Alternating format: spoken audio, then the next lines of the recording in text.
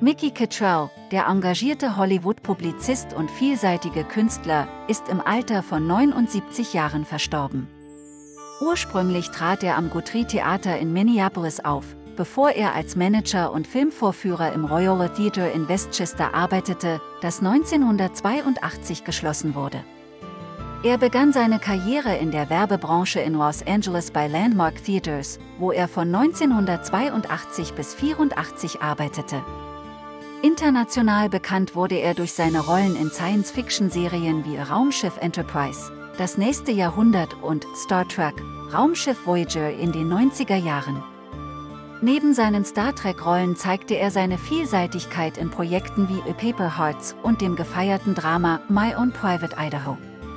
Er spielte auch an der Seite von Johnny Depp in Edward. Seine Talente reichten über die Kamera hinaus, da er sich als Produzent und Publizist im unabhängigen Filmgeschäft engagierte.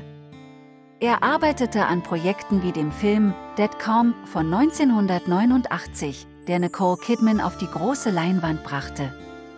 Während seiner Karriere gründete er sowohl Cottrell Lindemann Associates als auch Mickey Cottrell Film Publicity. In seinen 30 Jahren in der Film- und Public Relations Branche vertrat er zahlreiche herausragende Filmkünstler. Möge er in Frieden ruhen. Unsere Gedanken sind bei seiner Familie. Wenn dich dieses Video berührt hat, hinterlasse bitte ein Like und ein Abo für diesen Kanal.